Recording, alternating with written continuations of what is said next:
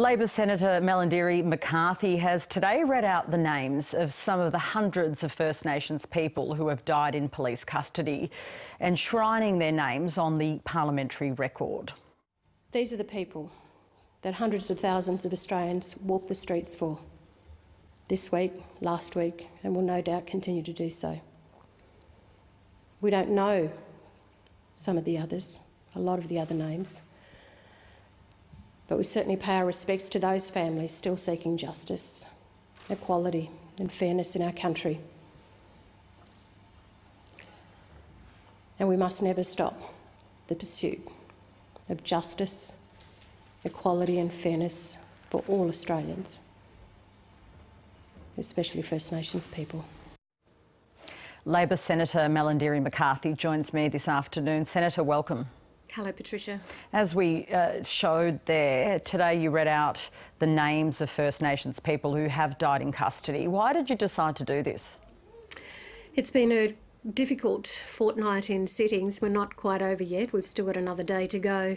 And I thought it was important uh, that uh, we put on the record the human side of uh, the many deaths. And as I said there, we don't know all the names, but those that we do, it was important to bring forward to the Parliament uh, in the midst of many obscene things that have been said uh, in the Senate in particular, that we're talking about families and we're talking about people who um, I felt that their names needed to be heard.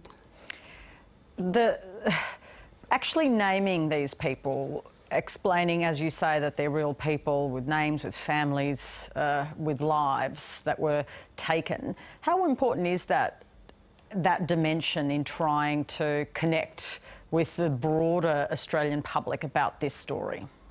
I think it's really important, uh, Patricia, given uh, the various uh, sort of breadth this this debate has gone from uh, complete division, hatred to understanding to trying to bring about not only the Australian Parliament but the Australian people uh, to to find that sense of empathy and respect. I spoke in the Parliament the other night about so many things that we don't understand, but that doesn't mean we should close the door to, to those people that we don't understand. And I asked and urged the Prime Minister not to demonise uh, the Australian people who were uh, walking the streets.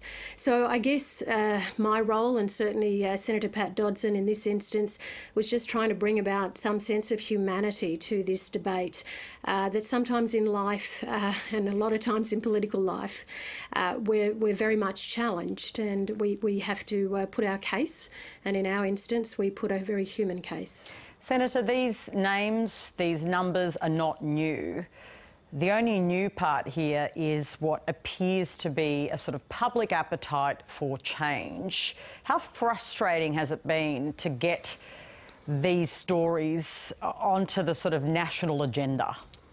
Yeah, no, that's a really important question, Patricia. It's uh, uh, been enormously difficult. I mean, I reflected just today on even reporting on the Royal Commission into Aboriginal deaths in custody, and even then at the time, how, how difficult that was. Uh, what we've seen here, I think, in the last two or three weeks is an absolute movement, an almost uh, incredible wave of movement throughout the globe that things should not remain the same, that things have to change. And even here, here in, in the Parliament, I, I can feel it, I can sense it, uh, that we have to be careful as politicians not to further incite hatred and division. Uh, and, and it's important that even our language and what we say in here matters. It really does. In terms of action that's needed, you know that the Minister for Indigenous Australians is working with the Prime Minister at a sort of national level with state and territory leaders on new targets in the Closing the Gap process to include a reduction of Indigenous incarceration. They're working out, they're nutting out the ambition now. How ambitious should it be? How much do the actual targets matter?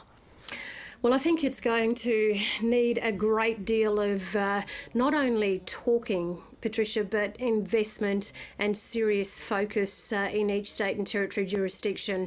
Uh, we've certainly, as a First Nations caucus, been briefed by Pat Turner, who's the chair of the Peaks, uh, just in relation to just how things may be going in those negotiations. And what I've also said on the record here is that we've seen with the handling of the COVID 19 that the Prime Minister and the leadership around the country are very capable of dealing with something, and why not have this at the highest level through the National Cabinet? So uh, the, they're working clearly on this as a priority. They say next month they're going to be releasing the new targets. You said you'd been briefed by the co-chair of that process. Uh, are you confident that they are going to deliver targets that, you know, this movement of Australians now who want to see action on this will be satisfied by? I'm certainly confident uh, in Pat Turner and the Peaks who are meeting around the table. Uh, they're enormously passionate, but they're also very experienced in this space uh, in all the areas of justice and health and education, and also First Nations media who are also involved.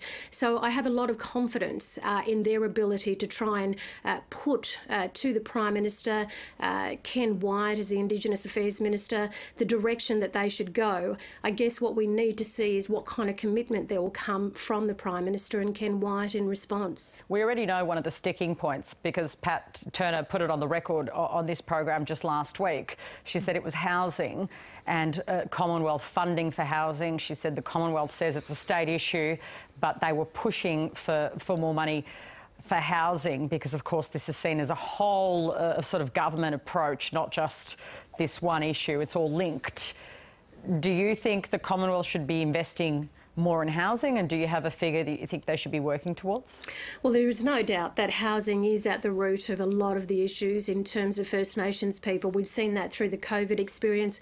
Uh, we know that just through the entrenched poverty and the concerns that we have of homelessness. Uh, there's certainly a figure more broadly nationally, which I wouldn't have, but I certainly know from the Northern Territory, Patricia, uh, we definitely need uh, well over what we have there, in particular, not just for our communities, but also the homelands and our stations. Just finally, the Western Australian Parliament has passed a bill designed to end the controversial imprisonment of people with unpaid fines. And of mm. course, this has been a call for decades now. It's finally officially happened in the last jurisdiction in the country. Uh, it's a pretty significant moment, isn't it? An absolutely significant moment, Patricia. And, uh, you know, just your thoughts go to the families who've had people die in custody, especially in WA. Uh, the most uh, obvious one that comes to mind is Miss Dhu over unpaid fines and having lost her life there. Uh, I think for that family in particular and the people who uh, have uh, pushed since 2016 in terms of Miss Dhu were incredibly relieved.